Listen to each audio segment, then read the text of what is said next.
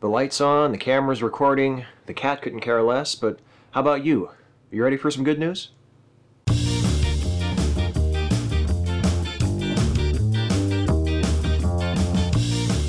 First up, a new study provides a look at the worldwide state of human health. The global burden of disease, injuries, and risk factors, or GBD study, was just published in The Lancet.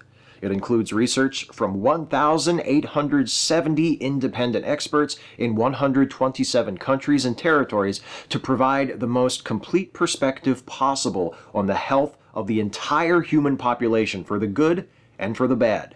And fortunately for our purposes here, and, you know, for the human species in general, there's quite a bit of good. For one thing, global life expectancy is up. It's now 69 years for men and 74.8 years for women. That's a more than 10 year gain since 1980. For another thing, HIV AIDS related deaths were down 33% since 2005. Malaria related deaths down 37% since 2005. Additionally, 122 countries have reached their Sustainable Development Goal target in reducing the number of women who die from causes related to pregnancy.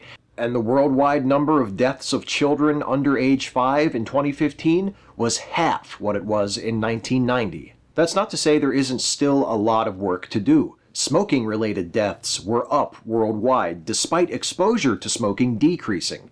Chronic illnesses still affect billions of people, and life expectancy and child mortality in the United States were both worse than expected for a nation so economically and socially developed.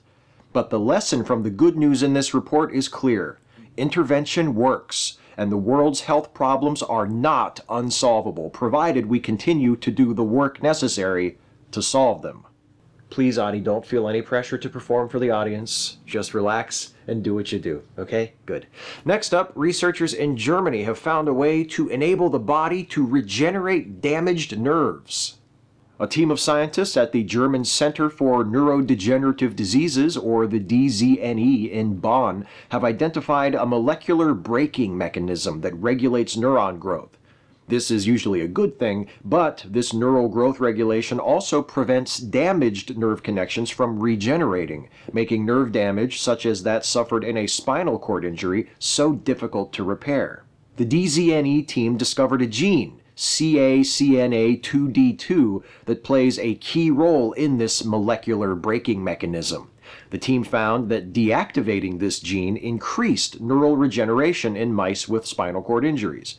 They also found that the protein encoded by this gene could be blocked by the drug pregabalin, which is already in use as a treatment for nerve pain. The team believes pregabalin, if administered soon enough following an injury, could not only reduce nerve pain, but also encourage regeneration of damaged nerves. The paper on these findings is published in the journal Neuron. And finally, engineers at Berkeley Lab have created the smallest transistor ever Hey, hey, did you hear that? That's pretty cool. Using carbon nanotubes and molybdenum disulfide, engineers at Berkeley Lab's Materials Science Division were able to build a transistor with a gate that measures a mere one nanometer wide. That's 20 times smaller than transistors currently on the market and 50,000 times smaller than the width of an average human hair. It's also five times smaller than was even thought possible prior to this breakthrough. The Berkeley Labs team was able to break the 5 nanometer barrier by switching from silicon, the standard material for transistors, to molybdenum disulfide, which is commonly sold as an engine lubricant. It's similar to silicon, but it has properties that make it easier to control the flow of electrons through it at smaller scales. This one nanometer transistor is still just a proof of concept. The team still has to devise ways of fabricating it in large enough numbers to be practical. But even at such an early stage, this is an impressive achievement. The paper on the 1 nanometer gate transistor is published in the journal Science. A new study shows that the people of the world are getting healthier in many ways. Researchers activate a natural repair mechanism for damaged nerves, and engineers build the smallest transistor ever. That's the good news.